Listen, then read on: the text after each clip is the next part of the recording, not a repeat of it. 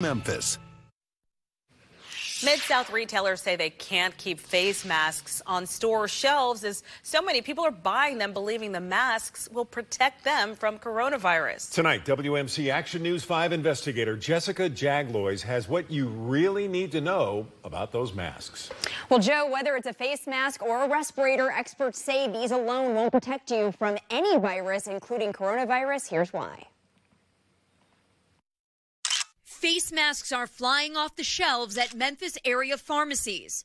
And home improvement stores in the Mid South can't keep respirators stocked. There's some issue with the supplies of those things, and it's probably not helpful for everybody to run out and, and buy boxes of masks. Dr. Stephen Threlkeld is an infectious disease doctor at Baptist Memorial Hospital. A mask alone has never really been shown to protect healthy people from this sort of thing, including the current coronavirus. Over the nose. We asked the doctor to show us a surgical mask and the N95 respirator, both of which are available to the public. But it's a tighter fit. He says paper surgical masks do not provide reliable protection from coronavirus and are mainly to protect other people from the person wearing the mask. While an N95 respirator is more reliable, it requires a fit test to make sure it's on properly and must be kept sterile and it's a little uncomfortable to wear for any duration of time too. It's a thicker, sort of a more substantive mask. The average person walking around town in an N95 respirator, mask